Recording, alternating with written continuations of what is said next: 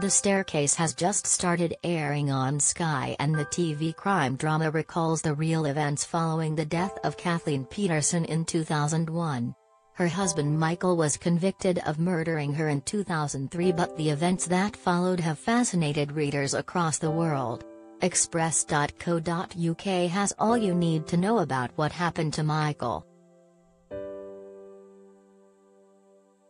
Where is Michael Peterson now? Michael Peterson's case came into the public eye during the release of the documentary series, The Staircase, which followed the events from 2001 up until 2017. In 2019 Peterson released his own account of what happened in an independently published memoir, called Behind the Staircase. Now, the case is being explored again in a fictionalized version of events in the Sky series, The Staircase.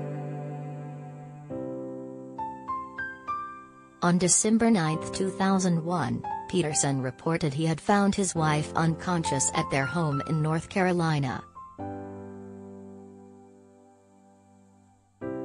He suspected she had fallen down the stairs, which is where he found her. He became a prime suspect in her death as he was the only person at home at the time.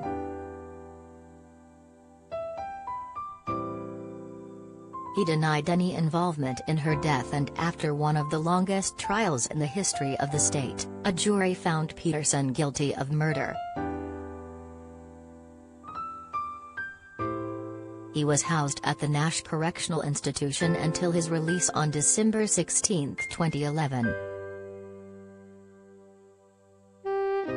His defense counsel filed an appeal in 2006 but it was rejected.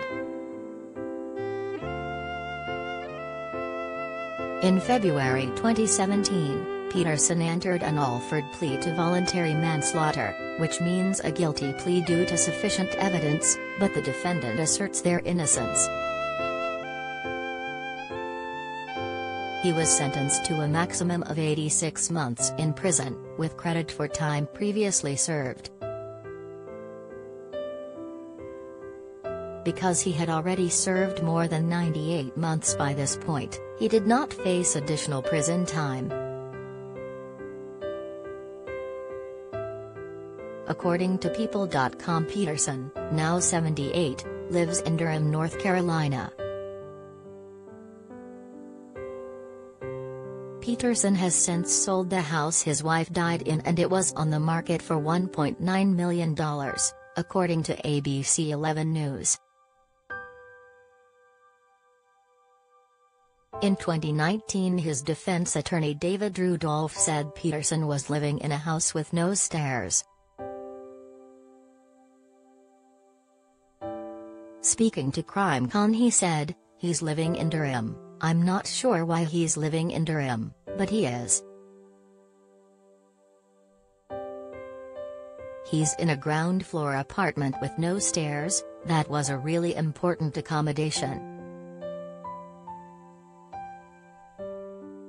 AP reported his latest home was a 1,200 square foot, two bedroom condo.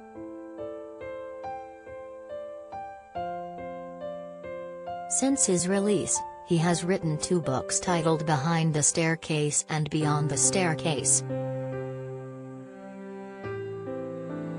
He donates the proceeds from the sales of his book to charity.